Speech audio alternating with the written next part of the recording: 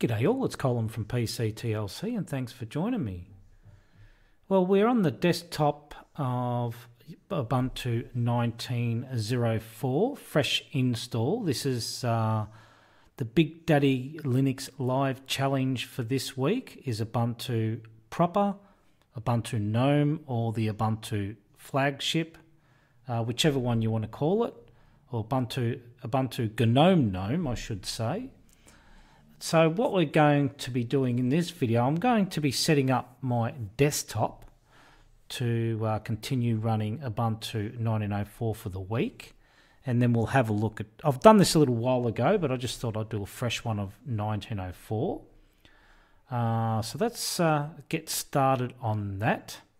So the first thing I want to do is I want to enable um, extensions, and we have to do that on Firefox. So we'll go we'll go through that first. So we need to look for GNOME extensions.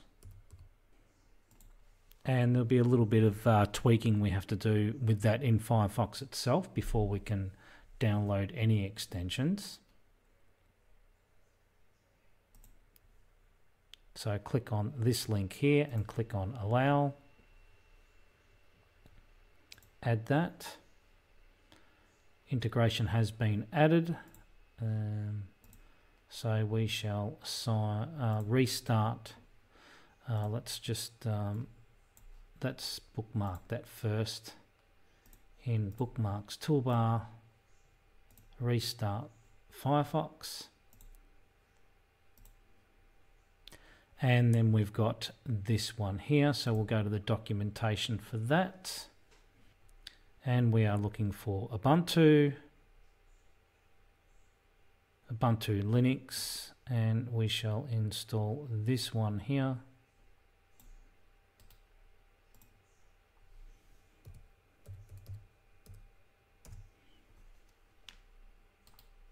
Copy and paste it into your terminal.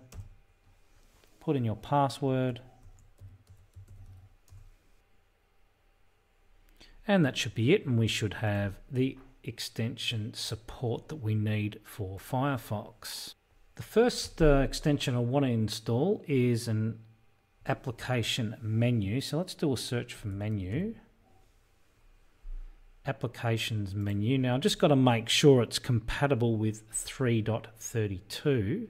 So I think last time it wasn't compatible. It looks like it is. So we'll just, I won't choose the um, the version because it should just install hopefully without an error. And that looks to be complete. So the other thing I would like to install is dash to panel.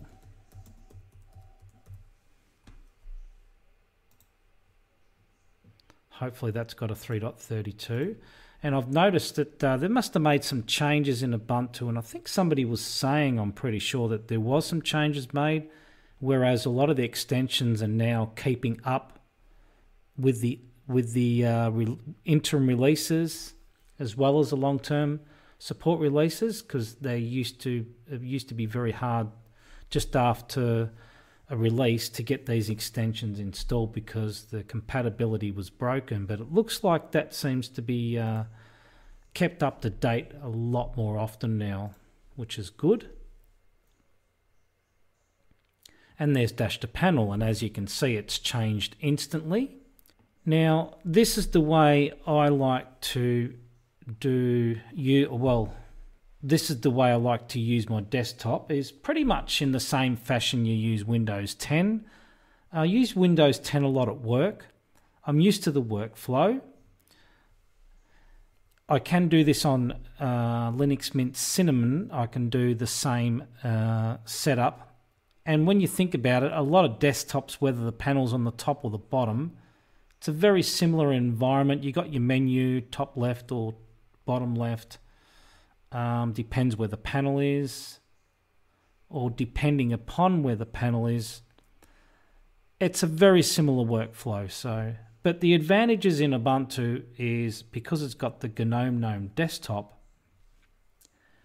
Uh, you've got the advantage of hitting the Windows button, and you've got the activities overview and also the dynamic workspaces, which I find to be quite handy on some occasions. So what we have here is a menu. Well, we have applications there. Let me go to extensions. Uh, we'll go to settings. Not those settings. Uh, we're going to have to install the tweak tool, aren't we? I've forgotten about. So let's do that. We'll go to GNOME GNOME Software Center and we'll do a search for GNOME Tweaks. GNOME Tweaks, install that, put in your password, and let's launch Tweaks.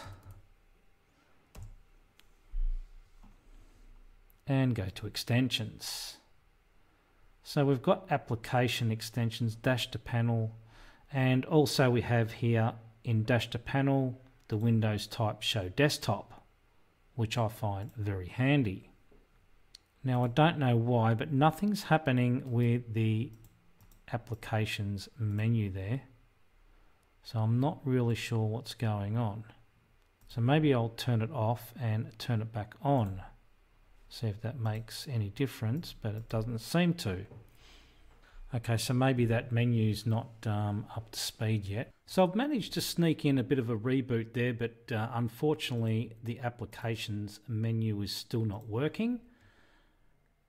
I've had a look on the uh, extension page itself for applications menu and I noticed that there's a guy here that says it's Ubuntu 1904 is looks like it's not working with 1904. This guy says it is together with this one here.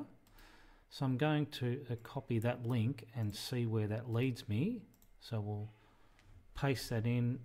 So this is activities configurator. So apparently it's working if we install this. So let's try that and see if that works.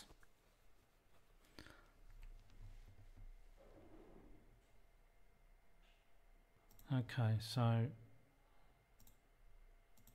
bit of a message there that won't close. Oh, that's a bit weird. okay, so how do we get rid of that message? So now the menu is working, but we have this message.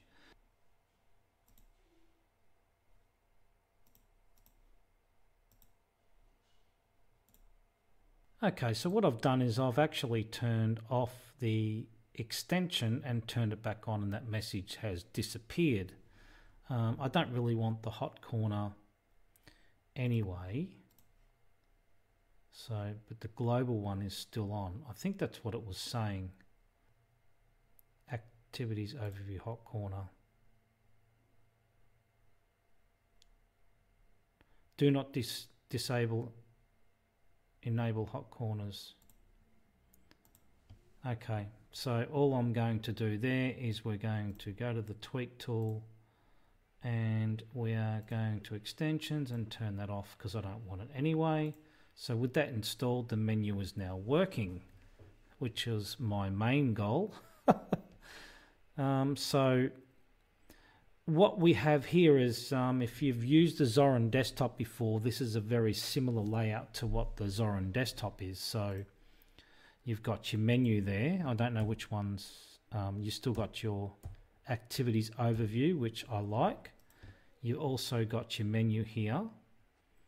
So some people like to use the menu to go through and see what's installed. And it's actually easier to see what's installed through a menu with, with categories than what it is to go through um, this thing here. So, well, I find it easier anyway. So that was a quick a desktop setup. It doesn't take long to set up the desktop with dash to panel and a simple menu to, in place. And we also, as a bonus, have the show desktop down in the bottom right hand corner. So that completes the setup of the desktop. I hope you enjoyed the video. Hope you found it interesting and informative and thanks for watching.